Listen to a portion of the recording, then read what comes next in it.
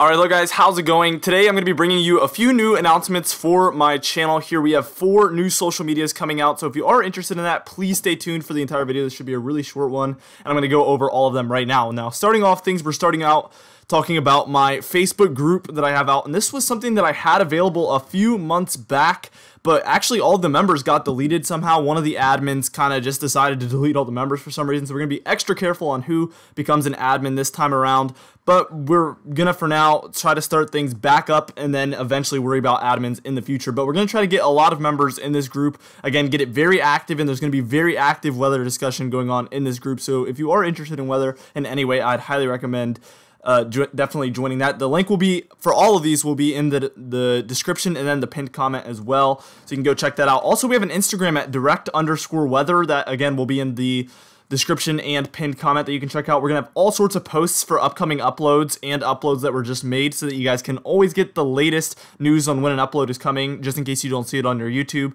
you'd always be able to check it out from there. And there's also gonna be some posts on that that aren't on my YouTube channel at all, so there's gonna be some exclusive content on that.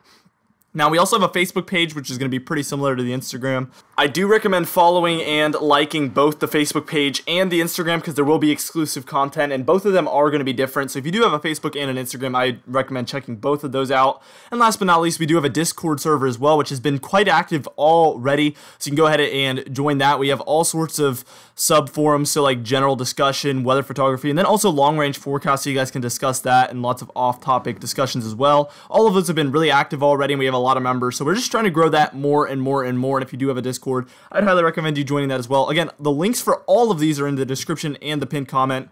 So as always, I recommend you follow all of those. Anyway, guys, that's it for this huge announcement or announcements that I have. It's huge to me because I I've been working on bringing out social medias for a while now, and I think it's a really good opportunity for people who love weather to come together and discuss weather and all sorts of stuff. Even if you don't like posting about weather, I think there'll be some useful information for you to look at in all of these social medias. Anyway, guys, thank you so much for watching, and I hope to see you in the next video and in the social medias. See you guys later.